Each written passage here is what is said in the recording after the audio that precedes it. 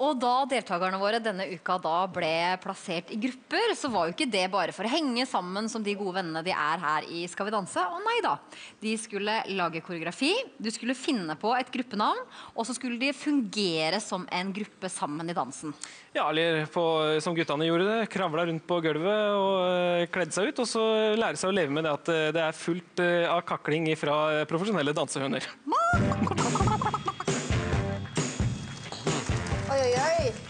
Dere skal danse cha-cha. Parykken til jentene og hvem ut her, oss.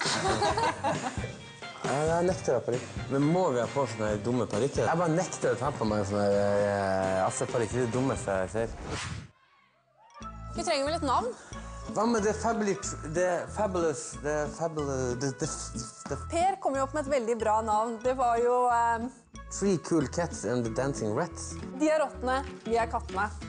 Vet du hva, Vi skal være så elleville at vi skal begynne på gulvet. Armene ut og beina inn.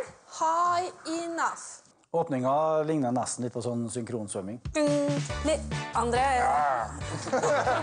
For tidlig. Å være synkrone, det blir nok en utfordring. Hvis, hvis man tar én hånd sånn så du... Per har jo noe, mange artige ideer her, og er liksom eh, klassens klovn. Så veldig smidig og fint ut. Den, den lille rekedansen, eh, den er min. Det er kjempegøy. Vi har et veldig bra teamwork, altså, men det tar litt tid. Vi har ikke begynt på avslutningsbiten engang. Ja, vi må komme oss videre. Én, to, tre, fire. Det er jo jeg og Nadia og Therese som tar kontrollen. Det er ikke noe tvil om det. Ja, Vi kan se på det. Jeg tenkte jeg gjorde det først. Vi sto her, stående med mikrofonen. Vi kan gjøre fall fire. Vi kan se At han- at at dere dere- gjør det en gang til, så Nadia får Guttene er litt stille i gruppa vår, men det er jo ikke så rart da med tre kaklehøner. Tre stykker. Her er danselederen som tar styring, og det er helt greit for meg. altså. Ja, det er litt deilig å jobbe litt på lag. Da. Det er mye som står på spill. Klart vi har lyst til å slå jentene. Vi gutta vi kommer til å knuse jentene. Three cool cats. Kjære publikum, her er The Three Cool Cats and The Dancing Rats med sin cha-cha-cha.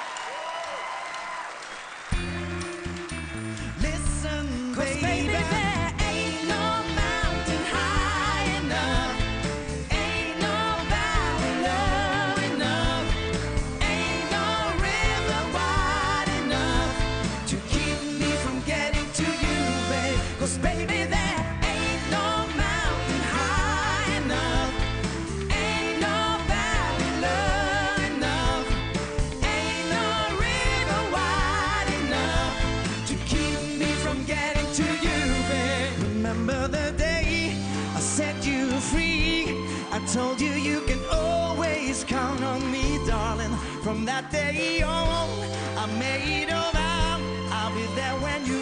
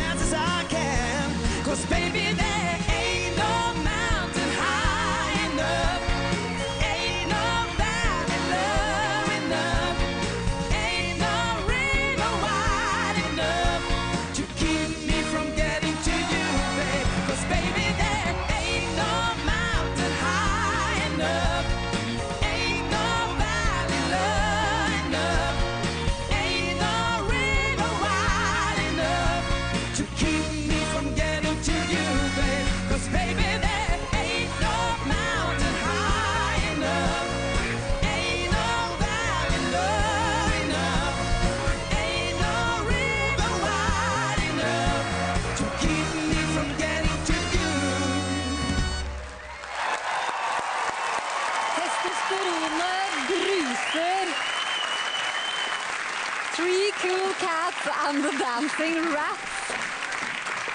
Du, Hvordan var det egentlig å jobbe sammen som eh, gruppe her, gutter? Jo, det var veldig morsomt å spille på samme fotballag som André og Roar her, for en gangs skyld. Ja. Det var gøy. Ja, det var veldig gøy. Hva syns du, Tony? Eh, Det var en utrolig interessant eh, begynnelse. Litt sånn synkronsvømming, ville jeg sagt det, men OK. Um, veldig ofte når man gjør en sånn type koreografi, så glemmer de som står bak, at de blir også sett når et par er foran. Og der er det mye jobb å gjøre med det. Det var ikke helt synkron hele tiden, men det var mye morsomheter. Mye gøy var det, Gida. Hva syns du? Ja, altså Nå har dere jobbet alene mot hverandre i så mange uker, så det er gøy å få gjort noe sånn sammen. bare for å kjenne på at litt sånn det, Dette er jo, handler jo om eh, samhandling, hele Skal vi danse. Og eh, jeg syns dere var synkrone. Når dere skulle opp på skuldrene, så satt dere på skuldrene på likt. Når dere skulle ut i New York, ut med armene, strakk ut, så var dere på likt. Så eh, jeg syns dette var bra, jeg. Omer? Ja, det her er jo en, gruppe, en gruppedans, og da vil jeg se connection mellom dere tre. Og det syns jeg mangla litt. Jeg så ikke så veldig mye av det. Men jeg så noen kule individuelle ting her som funka bra. Men det er så som eh, Tony sa, at selv om dere er på scenen et par minutter her, og da gjelder alle minuttene selv om kameraet eller spotten ikke er på dere, så alltid vær til stede. Det er viktig. Det er klart at man, man ser på den utfordringen av å ta hensyn til flere. Eh, nå har dere liksom vært så fokusert på partneren deres i alle disse ukene, og dere var veldig fokusert på partnerne deres i dag også.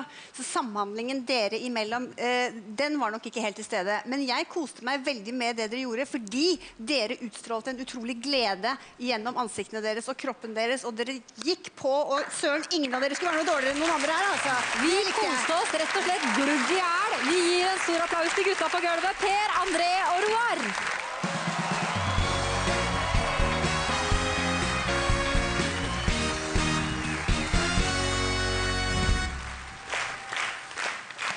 Du, Dere utstrålte masse glede, men ikke helt på lag, mener dommerne her. Har dere glemt hverandre litt sånn oppi det hele, eller? Ikke sikkert de har peiling på lagarbeid. Jeg vet ikke. nei, nei, der har vi kongen av det. Gutter, her er det noe å lære. Eh, Roar, én uke nå med ikke bare Nadia, men tre danselærere. Hvordan har det vært? Det har vært artig. Vi har flira mye. Eh, Dere har flira mye, guttene? Ja, det har vi gjort. Nå har vi og på andre. ja, da, det har gått, fungert veldig godt, det. Men hva har dere, er dere ledd mest av da? Hvis det, når dere først har ledd? Per. Ja. Per? Jeg trodde dere hadde ledd sammen, jeg. Det er klart det, men Per kom med en Ja, uh, det er ikke utrolig underholdende der. Skal du ha. Hva er det du gjør når du ler av deg, Per? Nei, det var sangen du i. Det er sangen som var feil. Vet eh, det morsomste synes jeg var å se de jentene hvordan de samarbeider, for det var eh, et kakofoni. Det var veldig morsomt. Det, men du, eh, André, du er jo vant til å konkurrere aleine. Hvordan syns du dette her var? Jo, det var, altså, jeg var jo toppskårer i Vågå eh, for 100 år siden. Du har spilt i da- fotball, du òg? Vært Jeg har innom? spilt litt fotball, det. Eh, Men eh, jo, det gikk bra. Det gjorde det. Takk til jentene som guidet så bra. Hvordan er det med fotballkunnskapene dine, Per? Spilt fotball, ja. Faktisk. Det spørs om Han er ikke faktisk veldig interessert i fotball. For den som ikke vet det. Var du toppskårer? Nei, jeg var kaptein på laget og, og var helt eh, sviper, men jeg var bare god på hodet. Her kan vi se. Vi må ned til dommerne en liten tur og se hva de mener.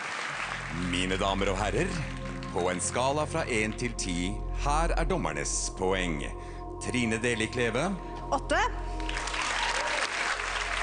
Tony Ferraz, Syv. Gyda Blokk Thorsen, Åtte. Omer Bhatti. Syv.